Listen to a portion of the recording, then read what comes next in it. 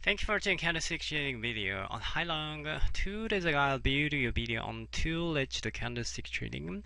Please show on the platform the formation on this button, highlighting the entry point, target, and loss. Regards. If only one side shadow appear and the next candlestick high to low inside previous bar and next bar open market entry follow previous bar color, in this case, only upper shadow appear. The next candlestick high to low inside previous bar and white. The next bar open sell entry. Target is close price and stop loss is two candlestick bar high.